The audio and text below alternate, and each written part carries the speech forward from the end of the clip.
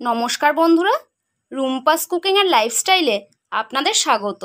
আজ আমি আপনাদের সাথে একটা ডিম ও একটা পেঁয়াজ দিয়ে তৈরি একটি মজাদার স্ন্যাক্স রেসিপি শেয়ার করব। তাহলে চলুন দেখে নেওয়া যাক রেসিপিটি এই মজাদার স্ন্যাক্সটি বানানোর জন্যে আমি এখানে দেখুন একটা পেঁয়াজ নিয়ে নিয়েছি। এই পেঁয়াজটা ভালো করে খোসা ছাড়িয়ে দুটো দিক কেটে নিয়েছি। এবার আমি একটা ছুরির সাহায্যে গোল গোল করে এটাকে কেটে নেব। দেখুন, পেঁয়াজগুলো আমি গোল গোল করে কেটে নিয়েছি। এবার আমি পেঁয়াজের রিমগুলোকে এভাবে আলাদা করে নেব।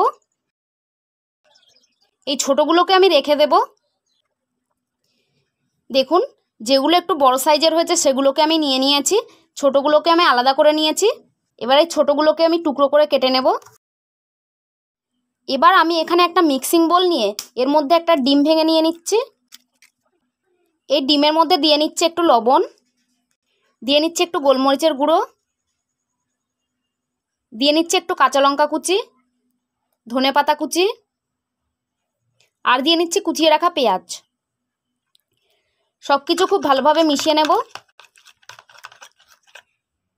দেখুন, ডিমটা আমার রেডি করে নেওয়া হয়ে গেছে। এবার আমি ওভেনে একটা ফ্রাইং প্যান বসিয়ে ফ্রাইং প্যানটাকে গরম করে নিয়ে ফ্রাইং প্যানের মধ্যে দিয়ে নিচ্ছে ওয়ান টেবিল স্পুন মতো ভেজিটেবল অয়েল এবার একটা অয়েল ব্রাশের সাহায্যে তেলটাকে চারদিকে স্প্রেড করে নেব। এবার আমি গ্যাসের ফ্লেমটাকে লো করে নিয়ে এই পেঁয়াজের রিংগুলোকে এর মধ্যে বসিয়ে নেব। এবার আমি এই পেঁয়াজের রিংগুলোর মধ্যে ডিমটা দিয়ে নিচ্ছি।